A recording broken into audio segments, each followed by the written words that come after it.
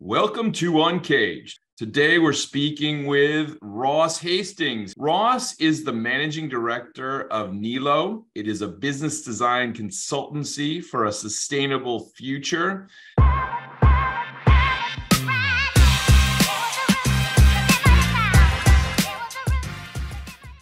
Tell us a little bit about you and how you got to uh, Ne-Lo in the first place. Yeah, absolutely. Well, um, I guess the the one common thread that's run through my career really has been psychology. I'm fascinated by what makes people, uh, groups of people, organizations of people uh, perform at their best. So originally, that that path started with an undergrad in psychology. Uh, after that, I went over, and that was in, in the UK and Scotland. And, and after that, I went over to Canada and I spent a number of years in the ski industry. And over there, uh, I ran operations across multiple ski schools. Um, I ran a national partnership program uh, championing Banff as a destination uh, to people all over Canada and North America. And in doing those roles, I became really, really fascinated about this kind of interface between the people providing an experience and the people experiencing an experience, for want of a better term. So I got really, really interested in what happens if you create a culture and an employee experience that leads to a fantastic, congruent, passionate delivery of a customer or a visitor experience and how that whole thing becomes you know if you can then connect that amazing experience that the customer has back to the actions of the people delivered it you've got this beautiful virtuous cycle um, of you know creating a, a, lot of meaning and you know well-being um, and great experiences. So that led me to further my psychological studies. I went and did a, a master's of coaching psychology and positive psychology mm-hmm. with a real focus on you know leading positive organizations and what positive organizations look like. Um, I still am heavily involved in that area of academia. I, I still uh, supervise students uh, going through a master's in the same topic um, and love keeping on the cutting edge of the academic side of things. But more than that, I'm really passionate about applying that thinking in the real world, kind of bridging that gap between the latest academic thinking and the real world practical environment um, that organizations exist in. Mm-hmm. Uh, about um, uh, almost four years ago now, I founded uh, Ne-Lo, and what we originally set out to do at Ne-Lo, which is still pretty core to what we do today, is to help organizations have more positive impact on the people that they come in contact with. And we've always had a kind of fairly broad stakeholder view on what that looks like. Uh, but at the core of it is exactly what I described building a, an internal, cohesive, coherent, vibrant, positive culture uh, mm-hmm. uh, through a really, uh, a really aligned authentic employee experience that then leads to the consistent, congruent delivery of an amazing customer experience. Mm-hmm. And then, as I said, connecting that back to the, the actions of the employee. So that that's yeah. at the core of what we've always done. Well, I mean, um, Ross, I feel like you have, you know, set up a business at the right time, at the right place. That is certainly a topic that is central really in broader business today, I would say. And I would say that, you know, we've seen television shows like billions with these leadership coaches and positive coaches and, and we've seen how they've tried to kind of instill different types of cultures and different types of organizations. We've seen so many businesses start kind of technology businesses start in space. But you know tell me a little bit more right now about Ne-Lo and what you feel you guys are focused on right now and what is it that customers are really grokking with yeah, good question. So at Ne-Lo just now, um, we're actually going through somewhat of a transition period to adjust to what we're finding organizations um, are, are, are, looking for. At, at, the core of what we've done has always been purpose. So we've always been about building purpose-driven organizations, helping companies to, to engage their people, clarify purpose, uh, and then to embed it across you know, strategy um, in their strategic choices, the strategic bold decisions that they make um, into their culture and into their brand and their marketing. And traditionally, when we set up, we did that as a group of businesses. We basically had a consulting arm and a agency arm. Um, what we found is actually what organizations need now is a more kind of creative, innovative, human-centered focus, uh, mm-hmm. human-centered approach to consulting itself. So, as you said earlier, we have uh, consolidated our businesses into a um, into a business design consultancy where we still have the same focus, but we have a, a cohesive approach across uh, kind of creative systems thinking, strategy um, that brings that purpose through the, the, the fabric of the organization internally, but also in the story it takes to market. And I'd say the other big shift for us has been to take the conversation beyond just purpose. So, yeah, as opposed to just a, a purpose driven organization, which I could argue can be subjectively good or bad. Um, right. You know, some might argue the Death Star and Star Wars is a very purpose driven organization, right? They were all aligned, they were all passionate, they were bought into the cause. Um, but many of us might not say that it was a, a just or a good purpose. So we're actually moving more into this space of okay, what are the kind of purposes that people uh, are finding meaning in now? What what sort of purposes do employees want to be part of? Do customers want to be associated with? and that takes us in very much into that space of um, you know sustainable growth and mm-hmm. into the what's in many spaces being called the you know second uh, second renaissance or the fourth industrial revolution or the sustainable revolution all that kind of yeah. space but how how do companies become more resilient and future proof by having a a purpose that is that delivers sustainable growth and gives meaning to the people that they interact with yeah, it's fascinating. I mean, we hear these phrases sustainable uh, with they hear about kind of companies that are trying to build positive cultures meaningful cultures with purpose. But it's fascinating because I still don't know if in business we've totally gotten our heads around this. Because you'd think that maybe we do because you see a lot of press about companies doing good things here and there. But I still generally feel like we're just, there's a lot of veneer happening, a lot of veneer work happening. And yet, when I sit down with uh, Gen Y, you know, these folks coming up, coming out of college right now, wow, they uh, truly look at business in such a radically different way. You know, they're certainly interested in having a job, but they they're not interested in just like a purpose of like a cool culture anymore. It's not like the Google with the volleyball courts anymore. It's like, hey, listen, how are we going to save this planet? And how are we going to get, I guess, business to make that even more bold shift? Are we getting there? I think you said a couple of things that absolutely spot on. One um, is the idea of veneer. I think many companies are there's general awareness that companies need to do something. Leaders realize they need to do something, but I would say in the most part it is still veneer like, right? It's it's action alongside their core business. Yeah. And the first thing I think organizations or leaders in organizations need to realize is this needs to be your business, not to yeah. be a thing you do in your business. Yeah. Uh, that that's number one. Number two is you mentioned this is a pressing a pressing need for well it is an emerging need for businesses but it's going to become a pressing need because it's the emerging demographics that are going to really start demanding this.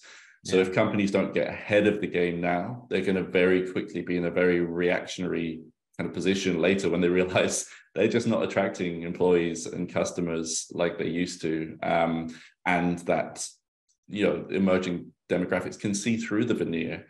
Um, and you know, to your to your final point about how much this is happening, there are some companies that are starting to do a really great job here. Yeah. Um, but obviously the market is awash with you know greenwashing, purpose washing, and yeah. and for us, you know, we we we think that this we think of the, this world in kind of this quadrant, right? So if you think of the two axes of a quadrant, one being uh, sustainable action, and the other one being sustainable storytelling. Um, you know, any company that's not taking any sustainable action or telling a sustainable story at the moment, we can think of them in the modern business environment as laggards. Really, they're they're behind the game. Um, but a lot of companies, to your point, are telling the sustainable story, but without the action. That's obviously when we're in the space of greenwashing, and companies are now actually being sued for that. Yeah. Or directors of companies are being found liable of that. So it's it's becoming a real issue. Um, if you look at the bottom right of of this this quadrant, which is you know really great sustainable action but not telling a story, I'd say that's unreal unrealized upside. If you're doing really great sustainable things, you need to be able to communicate that to the market. If you're having a net positive impact in particular, we want more people engaging with what you're doing. So yeah.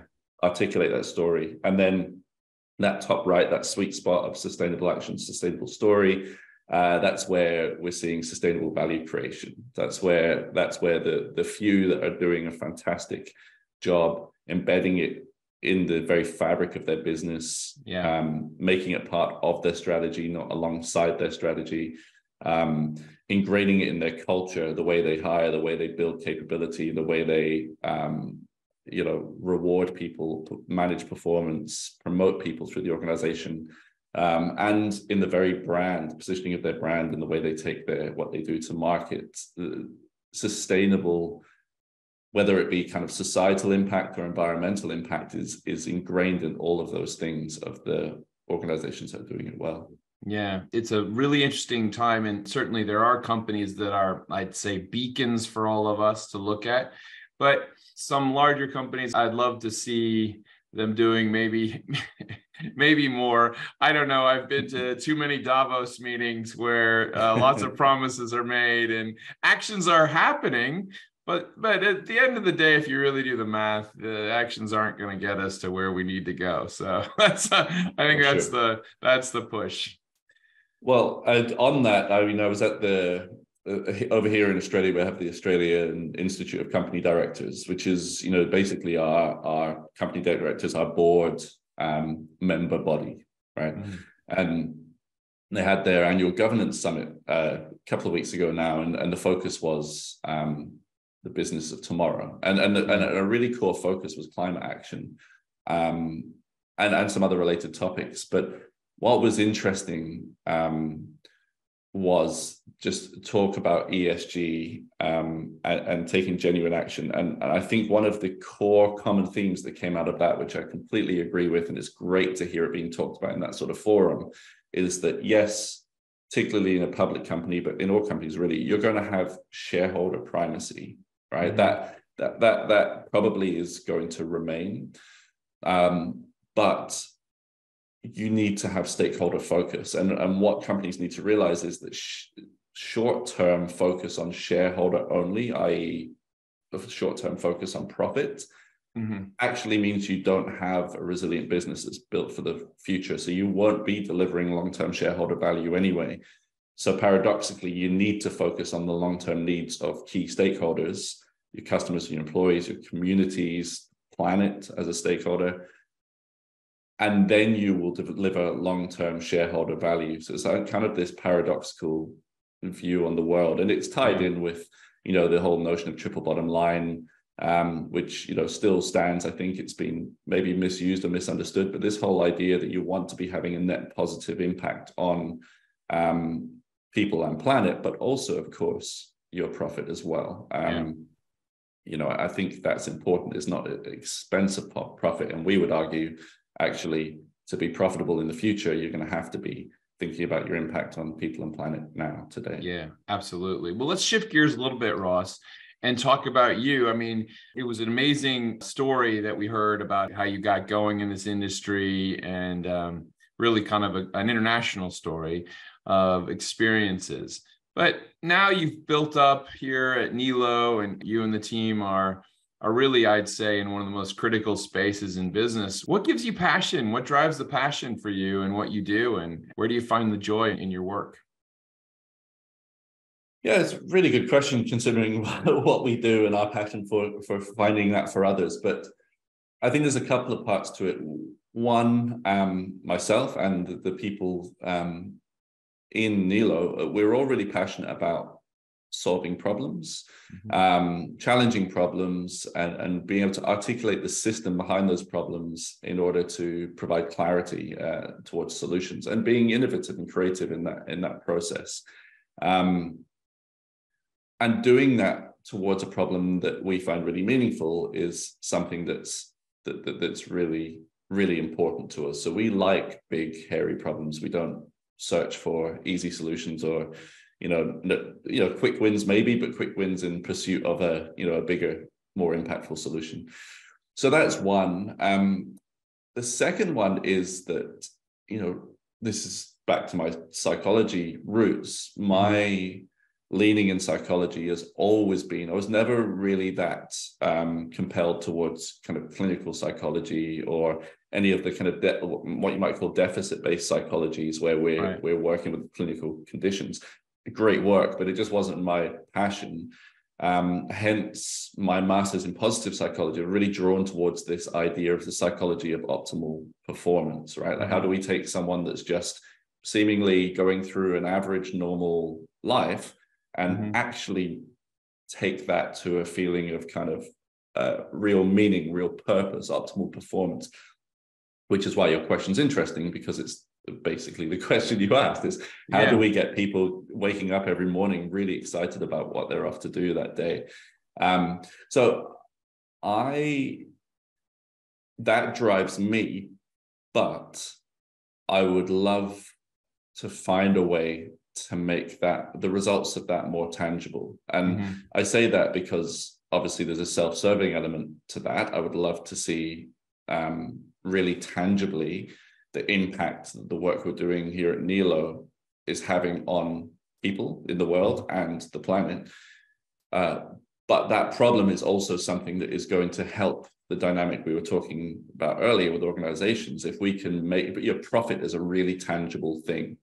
If we can make societal and environmental impact as tangible um, and as valued, then I think that's going to have a, a, a, real impact in this space. So there's a there's a self-serving element to that, but there's also a you know an organizational element to it. So you know, Ross, it's really interesting because I'd say you know driving culture is something that you have to I'd say kind of get buy-in from every aspect of a business to shift it. Uh, one of the things I would say that as a leader I've learned is whilst you might think the culture of your business is one way, it will evolve and shape in other ways as the next generations start to become stronger voices and really kind of uh, basically make their mark in the businesses, which is excellent. I mean, I think that's probably a sign of a healthy business. But mm. um, do you balance what your work with kind of I'd say the coaching for individuals and executives with the brand. I mean, if you were to work with, let's say, a customer and uh, they were trying to achieve, let's say, a shift in their focus, or they knew, generally speaking, that they were perhaps an efficient operation, but a purposeless operation mm-hmm. and something that ran the risk of being commoditized. So, as a leader, they had diagnosed that broadly but in some ways, them as a leader, whilst they might have diagnosed that problem, how you shift their thinking in a way to be hmm. more focused on performance and positive thinking, not only shifting the broader structure at the same time. How do you deal with that kind of double play, so to speak? Yeah, it's a, it's a very good question. There's a couple of parts to that. So I think in order to build buy-in um, with an exec for that kind of purpose-driven change, uh, one is is to recognize that you have a purpose, mm-hmm. right? So just because a consultancy hasn't come in and you know worked through articulating that with you, mm-hmm. there's a purpose in an organization. A purpose is a you know a living, breathing ecosystem of living, breathing people. There's a reason yeah. that those people are there or joined. There's a reason that they're still there. There's a reason that they act and behave and value the things that they do.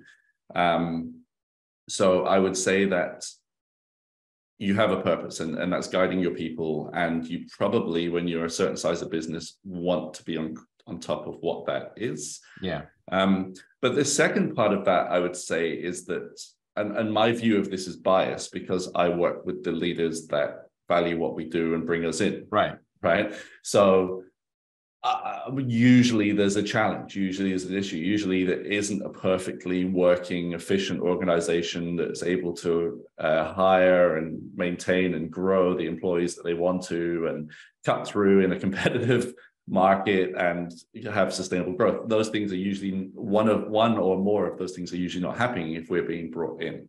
So i think there is usually a defined need there and i would argue that that need is is probably growing amongst say the naysayers in this space as well. Um, and on top of all of that i would say that if if if if there's a i guess a a grudging willingness to do the work let's say. You know they want to do some purpose work they want to build kind of more sustainable growth. We work with exec but we will never work with a client who refuses to to open up turn up the volume as we call it. Like bring in stakeholder voice speak to their employees speak to their yeah. customers bring external perspective in. And i'd say if they start off uh, grudgingly then very quickly when they hear some of the perspectives of stakeholders that the, the need emerges uh, pretty rapidly. Yeah, and pretty the gap rapidly. in understanding between execs and people is pretty obvious. Yeah pretty obvious absolutely. Well ross let's shift gears again and talk about 2023 so internationally we face a lot of challenges economically right now. What's your hope for this year and what's on the docket for Ne-Lo well my hope is that we start to um, we start to get more buy-in, more realization that this focus on on sustainable growth, on on kind of aligning environmental and societal impact or net net positive impact alongside profit gets more traction and and more realization. Uh, I would ultimately, I don't think it's going to happen in 2023, but I'd love to see a future where companies are com- competing primarily on the positive impact they're having across all three of those triple bottom line mm-hmm. elements as opposed to uh, just growth or market share or or profit or shareholder returns. So i hope we start to see the dial move there in 2023 i think we are going to see some traction. Um, i think there's a growing realization that to have a resilient business you need to be focusing on these things. Yeah. Uh, so I'm really optimistic that we're going to see um, a shift in 2023 and beyond. And if we start to see some of the policy level conversations that are happening, um, and you know, climate uh, climate action time horizons moving from kind of 2050 where they originally were to 2030, it's not so very far away. So um, I think the whole conversation around this space, not only in for-profit corporations that we work with, but you know, at a policy level um, and a global level, it, it's the time horizons for these things are now in the kind of seven year mark. Right. Uh, so if they're even remotely realistic, we're going to see uh, accelerating shifts happening this year and and beyond. Yeah, absolutely. Well, Ross, amazing to talk with you today. I've really enjoyed learning about Ne-Lo. If someone wanted to actually get in touch with you and get a better understanding of the day to day work that you're doing, or perhaps hire you guys, uh, where's the best place to reach you? Uh, always more than happy to hear from people directly. So uh, anyone who wishes to speak to me uh, personally can get me at ross, R-O-S-S at nelo.com. That's N-E hyphen L-O dot com. Um, I'm very active on LinkedIn and love sharing our ideas. We, we're passionate about this stuff. So we share most of our thinking and most of our ideas fairly openly. Um, so you can find me on LinkedIn, usual usual way. Just uh, just search for Ross Hastings, um, and uh, I'm the one that's got MICD after my name, so it should be pretty obvious which one I am. And then of course, just check us out at uh, nelo.com again, ne-lo.com. Well, thank you so much for being on Uncaged Day, Ross. We've been speaking with Ross Hastings. He's the managing director at Ne-Lo. We've been talking a lot today about positive psychology, coaching psychology, purpose, building purpose inside of organizations. And that's really where Ne-Lo and the Ne-Lo group are focused. They focus on blending specialist consulting, research, and agency services to help companies clarify their purpose and transform strategy, brand, and culture. Ross, thank you so much for taking us through what you and the team are working on, and we look forward to having you back. Thank you for having me. That was fun. Cheers.